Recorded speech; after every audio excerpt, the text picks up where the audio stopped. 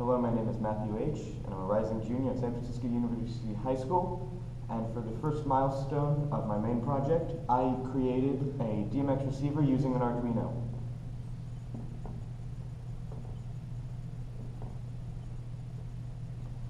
DMX is a signal type used commonly in used most commonly in theater lighting.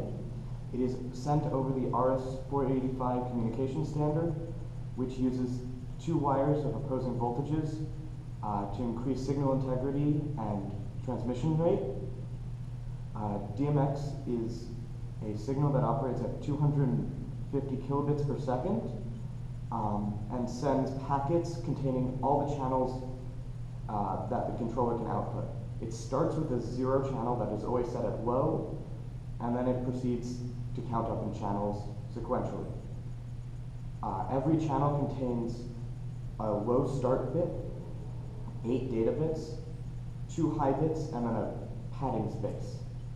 I had many problems interpreting the DMX signal.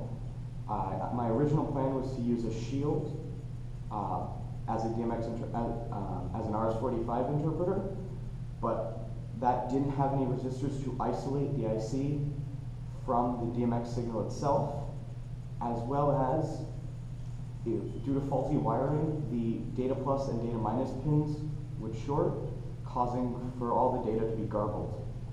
Um, I ended up using my own, I ended up creating my own DMX uh, interpreter using an, uh, an a MAX 485 IC um, wired into two chassis mount uh, XLR 5 pin jacks. Um, on the software side of things, I also had a bunch of problems.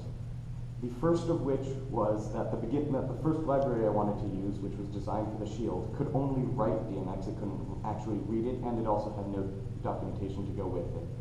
The second library I used also didn't have any documentation, but that didn't work at all. The third library, which is the one I'm using currently, works properly um, and is relatively easy to use. For this, uh, for future steps in the, prog- in the um, project, I'm going to uh, have it be able to control a matrix of neopixels as well as move move that matrix around using two stepper motors. Thank you.